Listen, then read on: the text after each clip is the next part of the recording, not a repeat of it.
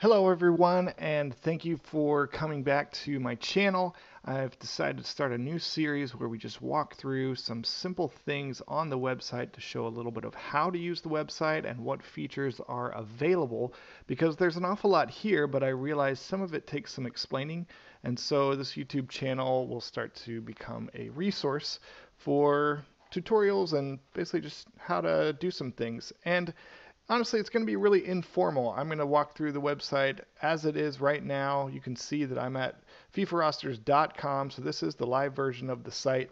And if I run into some bugs or some things that aren't quite perfect, well, I'm going to write them down and try to fix them. And this series will also serve as a good place for me to find bugs and get them fixed.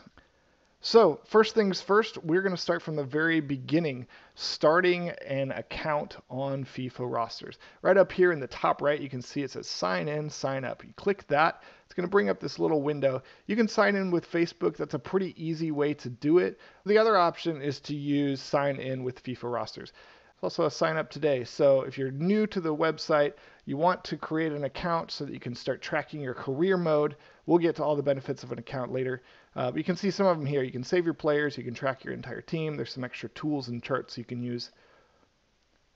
So this brings you to the sign up page. You're going to use uh, an email and you're going to choose your username and a password and then you would click create account.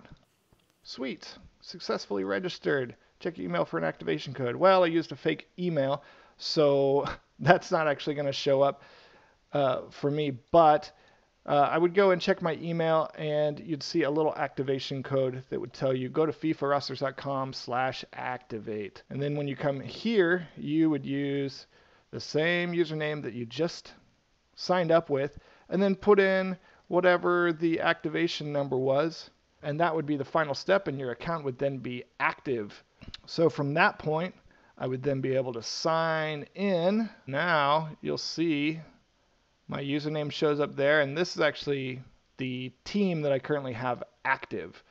We're going to wrap up the video here, though, for this first step because that is really the biggest first step you need to get started on FIFA rosters. Then you notice you now have a career mode tab in the navigation, and there's all sorts of new things you can do as a signed in user. So try it out. If you need help, get in touch with me, and I hope you guys enjoy this new series. More tutorials coming soon. Thanks a lot.